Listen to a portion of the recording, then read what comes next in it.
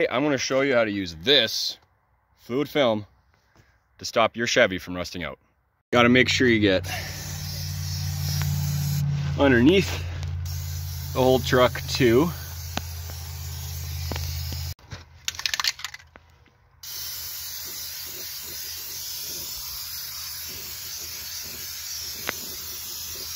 Get inside as many of the holes as you can. Get the grease inside there. Get up onto everything you possibly can. Try not to hit all the electrical connectors. I guess that might matter.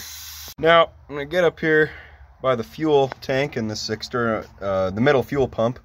I'm gonna get way in behind here and up like that.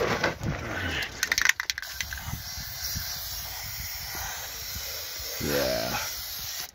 Get up there on all these little perches and stuff. Trust me, seen it happen. It eats a hole on stuff if you let dirt or moisture sit up in anything like that.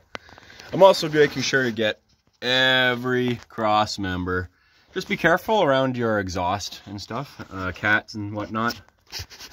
Might uh, catch on fire if you're not careful. Don't want that. So I did that side, the other side frame rail. This is the driver's side frame rail.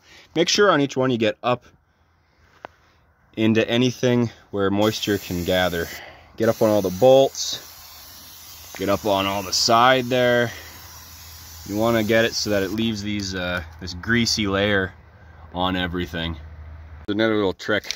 Spray, if you got running boards, spray. I spray the rockers anyway, but get all up in there and spray all that. Also make sure to get the back there. I am gonna spray the inside of every panel on the bed, but I'm not, I don't have enough to finish that up today. I have to go get more. Also, on these Chevys, and it's probably the same on a lot of other trucks, get up in here. Any little holes you see, the whole back liner of this, whole back side of the rocker panel, because that is where your rocker panels rust out from, is from the inside out. So any little holes, like this guy right here, there's one right here see know if you can see it. There's a few of those. Get all up in there. Every little bolt, everything you can possibly get. Just get in there real good and leave a nice layer of grease. I also like to get around here. I am going to do a lot of paint touch-ups on this truck soon, but it's good just to keep stuff from rusting out. Okay, so now I just have to put the ramps underneath the back and finish greasing up the back of the chassis and in the back of the bumper there. The back wheels on there, on the ramps. Last can.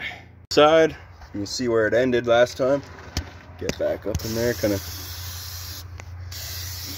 cross it over, get in the holes a little bit. Because, you know, moisture and dirt sits up there and I'm also getting the bed bolts whenever I see them.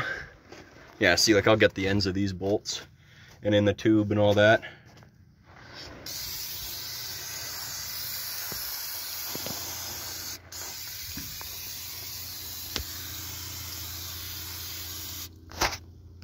Make sure you get up around your shock perches here because trust me, trying to get uh, rusted bolts out from those can be a pain in the ass. I'm to get these ones too. I'm also getting brake lines a little bit too. Any of the metal brake lines, I'm hitting them with it just to prevent them from rusting out because I don't like having to replace brakes really at all. The back corners of the bumper. Now, I am going to spray the inside of my fen uh, fenders and box, like the inside of the sheet metal here, but I'm going to have to go buy a few more cans and do that this coming weekend. I don't have enough. I'm on my last can. Nice layer uh, back of the bumper on the inside. Get in uh, behind here too. I already did this part earlier, but I'll do a quick little coating again. Got uh, all sides of the frame rails, both inside and out.